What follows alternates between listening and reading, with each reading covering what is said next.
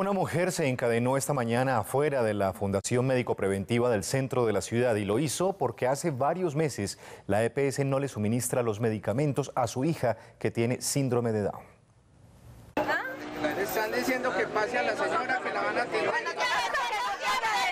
humanos. Usted dice que eso lo quita, entonces ¿qué hacen ellos? Una niña que acabó de salir del hospital y no le quieren entregar nada así tampoco.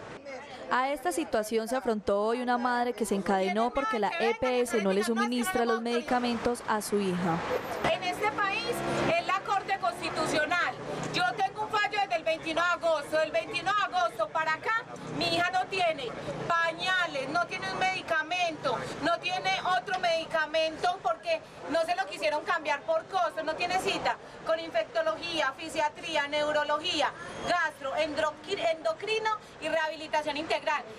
Una larga lista que si no la tiene a tiempo, la salud de la menor sería la más afectada.